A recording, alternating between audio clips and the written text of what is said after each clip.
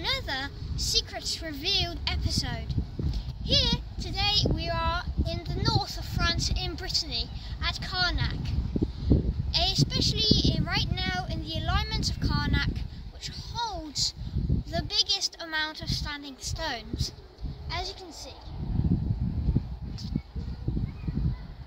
Here is a great example of one of these standing stones. As you can see, it's made of granite, which shows how much work they had to put in to take it out and then move it into the alignment. Then also, there's only like about 10 or 15% of the standing stone on underground, which makes it somehow stand up. It's time for us to go through the rest of the documentary. I hope you like it, and I hope you also like following me on this epic adventure.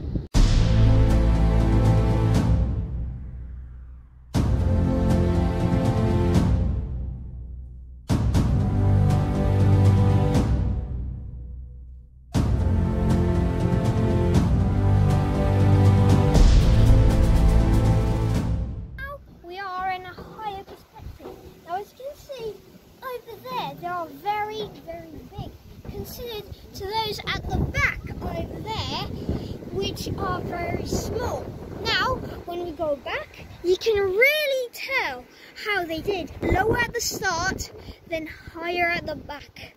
Here now, we are at three stones that I would like to show you. And I call those three the castle and the guard because, as you can see, the two big stones make it look like as if they're the two entrance towers of the castle. And the smaller one looks like it's, as if it's the castle's guard. Here we are in the larger standing stones. As you can see, compared to me, this rock is gigantic. Now, you might be asking yourself, then how would they been able to carry them? Well, there are many hypotheses for this, and one of them, which I have tested myself, is they have big wooden rails, and then they put the block on a sort of wagon, which will be carried across. Then they they put water onto the rails, and then they just pull it on the ropes. And actually, it is very, very easy to pull. Now, I'm just about to go and see a dolmen just right here. Here now, we are at the dolmen of Kermario. So this is the, act- the actual only dolmen that is not covered anymore. There's still one in the area just before, but we are not allowed to see because it is very dangerous. But this one, it, it is still dangerous, we can see it better because it's, it's closer. Now you can see, it has a tunnel and then you've got the main chamber where the people would have been buried. Now in the time you've got to have to imagine that it was completely covered. Here now we are at a much bigger uh, dolmen and this one is covered. So this time you can you can't come in from the sides, you can only come in from the front door. Now come in.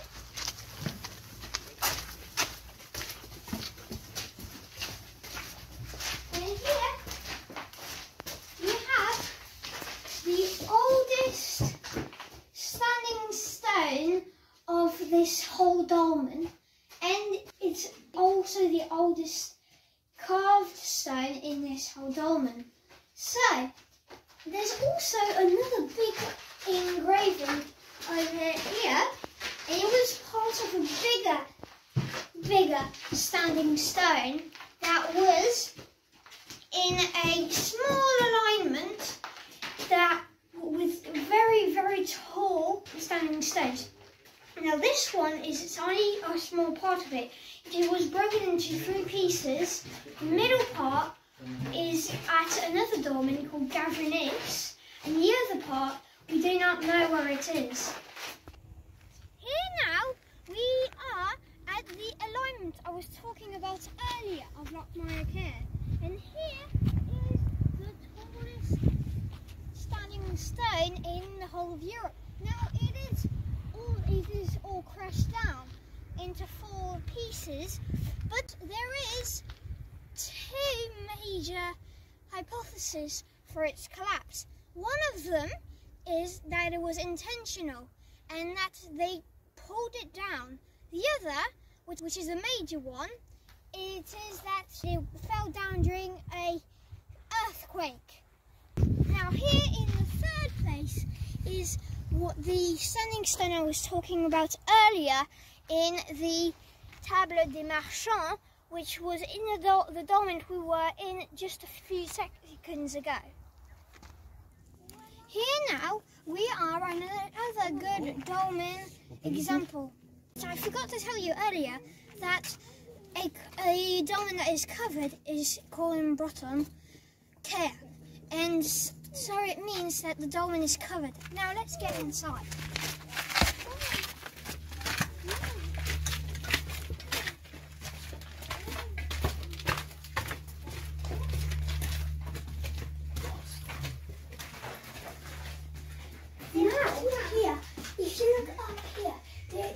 see a very big axe. And as you can see, it is very large. So it probably is for many burials. But unlike the uh, cairns, as that we have in England, they don't, uh, they don't separate into different rooms. The, the only way in brings to only one room to bury the dead. Now here we are in front of one of the biggest standing stone of the whole of Carnac. And in French it is called Le Géant du Manio, which means the giant of the Manio. It has also just in front of it a cromlech, which is a bit like, for example, Stonehenge and also Avebury, but instead of being a circle like them, it is a square. Now there's only one so far that I know and that I have visited in Avebury. Now here now we are in the cromlech I was talking about to you before. As you can see, you can clearly see it is a rectangle. Now I, I wanted to point out to you these two standing stones. You might notice that these sides are actually curved into each other. Now we are not sure why they did it, but is it probably like a ritual or something. Here now we are at the Tumulus Saint-Michel, which is a tomb with on top of it an artificial hill. See just here this white chapel? Well, right under it is this artificial hill I was talking about. Plus, it is the very first giant tomb in the whole entire world. It is made of three major layers rocks, then a layer of wet sand, which is hardened so that it can keep away water, especially rainwater. Then again some rocks, then finally a hole where there is a body buried with other things. Here now we are at the foot of the Tumulus Saint-Michel and here right behind me there is a door and this door leads into the hole that I talked to you about. But this door and the tunnel leading into it, into the hole, is not prehistoric. It was made by a man who was an archaeologist called Zacharie Le Rouzic. And the only reason why they made a tunnel is because this hole, you could not come back in after it was buried. This hole was held together with a box of rocks. This was made of multiple standing stones put together in a ring and then sandwiched with two other bigger stones. Then this created the hole where they buried probably a very important person, and buried with it were polished axes. Some of them were made with semi precious stones, and this stone was the jade. And with the polished axes, there are some beads made of variscite, and with it also some pendeloque drops. And when they found it, even though it was spread out around the tomb, they thought it was a necklace. Now here, under my feet, there is this hole I talked to you about earlier. Now, this artificial hill was not made for anything. Behind me, you can see the sea. And when this hill was made, it was land. So, that means it could be seen from there.